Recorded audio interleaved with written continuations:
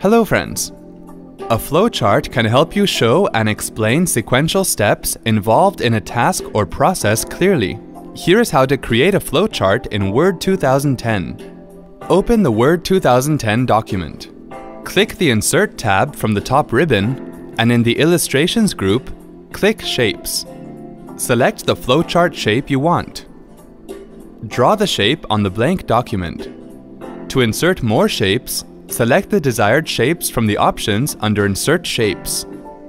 Similarly, you can select more shapes from the options under Insert Shapes to create your flowchart. To arrange the shapes as per your requirement, press and hold the Control key and select the shapes. Then, under the Arrange group, click the Align icon.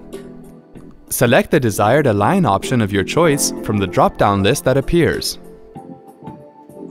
Similarly, you can further arrange the shapes. To join the shapes together and give it a look of the flowchart, select the arrow shape from the options under Shapes, and then connect the shapes with each other.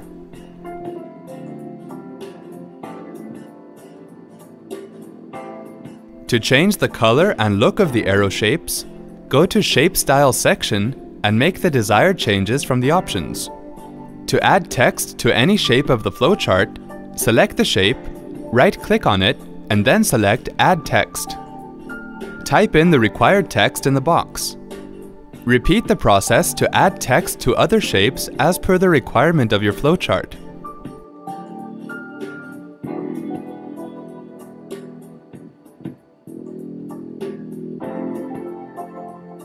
You can also give different colors and looks to different boxes. To do so, select the shape and click the arrow in the shape styles. Now choose and click the colors and fill of your choice.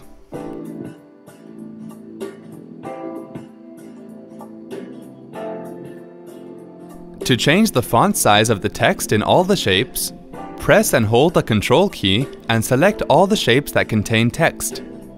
Click the down arrow next to font size, and then select the font size of your choice. Select the box and change the font type or size of the text if you want. Hope this was helpful. Have a good day.